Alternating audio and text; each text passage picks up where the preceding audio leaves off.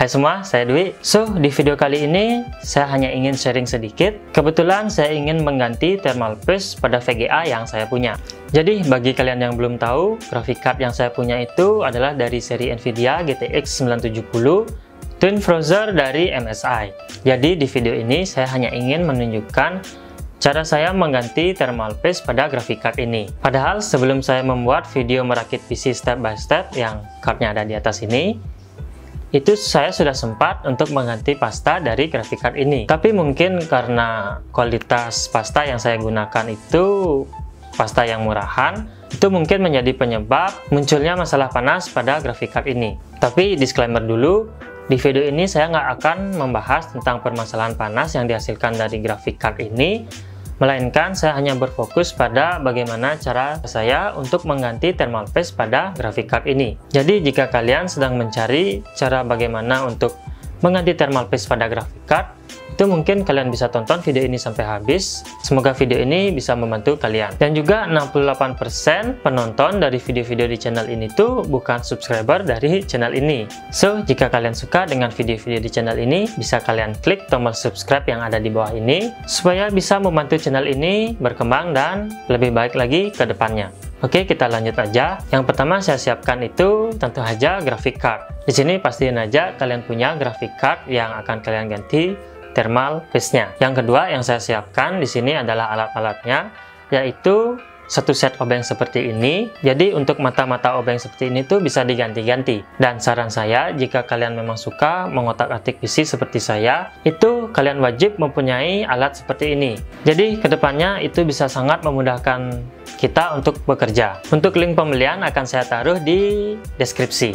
Yang ketiga tentu saja menyiapkan thermal paste itu sendiri. Jadi kebetulan saya masih mempunyai sisa thermal paste dari produk water cooler ID Cooling Frostflow X120. Tapi jika kalian ingin membeli ini secara eceran itu bisa juga. Itu di marketplace saya lihat harganya di antara kisaran 20.000 sampai 50.000 tergantung tempat kalian beli. Dan untuk ngebersihinnya itu di sini saya menggunakan alkohol, tisu, beberapa cotton bud dan juga kuas. And next untuk pengerjaannya. Yang pertama itu saya ngebuka fan dan bagian depan dari VGA-nya. Seperti yang saya bilang sebelumnya, menggunakan obeng set seperti ini tuh sangat membantu. Karena skrup pada fan VGA ini ukurannya sangat kecil, jadi bisa saya sesuaikan penggunaan mata obeng yang mana, itu yang cocok digunakan. Karena saat pertama mengganti pasta dari VGA ini, itu saya menggunakan obeng biasa yang ukurannya agak besar. Itu saya kesulitan ketika mau ngelepas skrup dari fan ini. Memang bisa, tapi waktu yang diperlukan itu jauh lebih lama. Oke, selanjutnya ngelepas kabel dari fan-nya itu yang terhubung ke motherboard dari graphic card ini. Di sini saya juga hati-hati ketika ngelepasnya, karena beberapa permukaan dari heatsinknya ini itu agak tajam. Bisa aja bikin kabel dari fan ini tuh terkelupas, bahkan bisa putus. Setelah kabel dan fan-nya berhasil dilepas, saatnya bersihin heatsink dari graphic card ini. Saya gunakan kuas ini untuk ngebersihin heatsinknya dari debu-debu yang nempel. Tapi hati-hati juga supaya heatsinknya itu nggak bengkok-bengkok dan nggak rusak. Dan selanjutnya ngebersihin heatsink di bagian plate yang bersentuhan langsung dengan chip dari graphic cardnya. Di sini saya menggunakan tisu dan alkohol yang saya sebutkan tadi untuk membersihkan bekas thermal paste yang saya aplikasikan sebelumnya. Next, setelah itu saya lanjut ke bagian motherboard dari VGA ini. Sama juga, saya gunakan kuas untuk menghilangkan debu-debunya dan juga ngebersihin thermal paste yang lama pada chip dari VGA ini. Saya gunakan tisu dan alkohol pada permukaan chipnya ini, sedangkan untuk membersihkan area samping-sampingnya atau membersihkan secara detail, itu saya menggunakan cotton bud yang tentunya udah dilumuri dengan alkohol juga. Saya pastikan aja ini tuh benar-benar bersih, sebersih-bersihnya.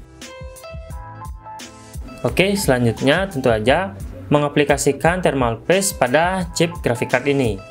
Jadi di sini saya aplikasikan secukupnya aja, hanya sebesar biji jagung, dan nggak lupa juga untuk ngeratain pasta ini agar ngetutupin seluruh permukaan dari chip graphic card ini.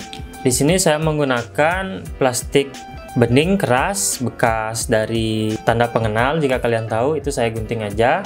Tapi kalian juga bisa menggunakan kartu ATM bekas ataupun kartu member gym kalian. Di sini saya pastikan juga agar serapi mungkin agar pastanya itu hanya berada pada permukaan chip dari graphic card ini. Dan setelah selesai mengaplikasikan thermal itu saatnya kita kembali untuk memasang komponen-komponen dari graphic card ini Oke, okay, that's it. Cuma itu aja yang perlu saya lakukan untuk mengganti thermal paste. Memang nggak terlalu susah, namun memerlukan waktu yang nggak sebentar juga. Dan juga ketelitian tentunya.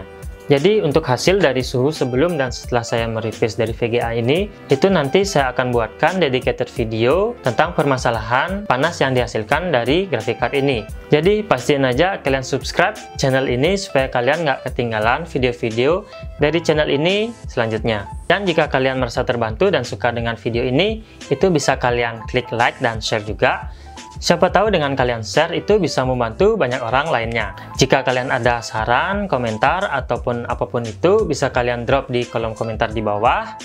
Thanks sudah nonton, saya Dwi, and I'm signing out. Bye-bye.